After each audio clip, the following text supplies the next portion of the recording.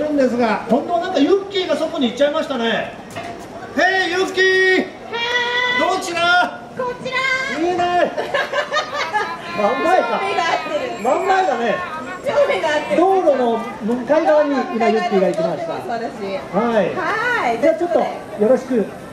もうね本当たくさんのお客さんで、はい。もうどの方に声をかけようか今とっても困っておりますが。ええ。ーとお話聞いてみたいなと思いますが皆さん皆さんられますけども。え大体入り口の方が多いよ。うです気のせいですかどうぞ聞いてみようかなこんにちはこんにちは今日はどこから来ましたか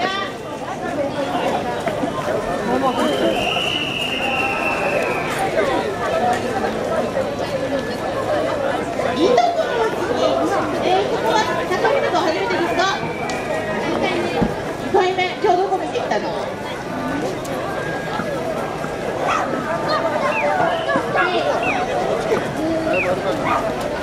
歩いてるだからどこが面白かった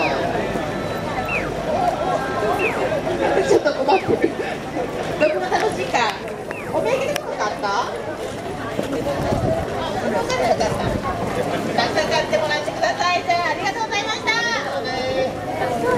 りがとうございました。今ね本当にねいとこのお家に来たよということで。里帰りでね。はい、大阪からね、えお子さんがいらっしゃいましたよ。